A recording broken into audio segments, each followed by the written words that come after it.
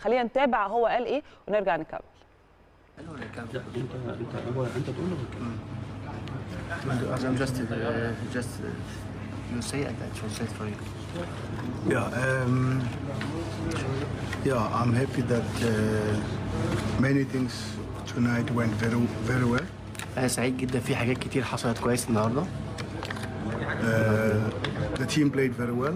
الفريق لعب كويس جدا We won the game that uh, we've been struggling to win for the last 15 months, اللي كسبنا الماتش اللي إحنا عانينا وصارعنا عشان نكسبه في اخر 15 شهر and we won it convincingly. وكسبناه باقناع But the biggest part بس الجزء الاكبر is to thank to thank uh, uh, uh, um, Captain Bibo ان اشكر الكابتن محمود الخطيب uh, for the confidence he has on me, الثقه اللي وضعها فيا him and his board, هو ومجلس ادارته and uh, believing in me وايمانهم بيا and offering me a new contract ويعرضوا عليا آه، آه، عقد جديد that we just signed. ولسه موقعينه دلوقتي And I'm happy to be with Al Ahly. وأنا سعيد I've been موجود مع النادي الاهلي even before the contract. أنا حتى كنا المفروض قبل حتى قبل قبل امضي العقد قبل توقيع العقد Uh, thanks to the players, بشكر اللاعبين thanks to the technical team, بشكر الجهاز الفني thanks to the staff, even the last one who's cleaning the floor.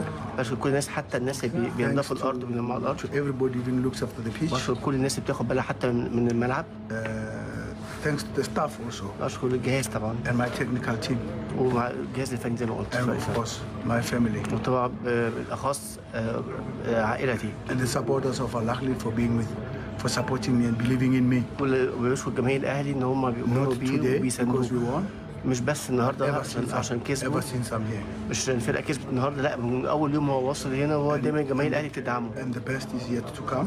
وان شاء الله الجاي كله افضل The team hasn't settled, it will settle after two and a half years, two years, three and a half years. يعني الفريق لسه برضه ما ظهرش يعني ما استقرش كشكل فني ده لسه بعد سنتين سنتين ونص But we still, unfortunately or fortunately, we still have to keep winning the, the titles. يعني ممكن سوء الحظ أو الحسن الحظ إن إحنا لسه بنكسب الألقاب Inshallah, the best is yet to come. وإن شاء الله الجاي هيفضل بإذن الله Thank you. شكرا طبعا آه، بنهني كابتن بيتسو موسيماني وبنتمنى له المزيد والمزيد من التألق وحصد الكثير من البطولات اللي هيشارك فيها إن شاء الله النادي الأهلي خلال العامين القادمين سواء كان محليا أو اقليميا أو دوليا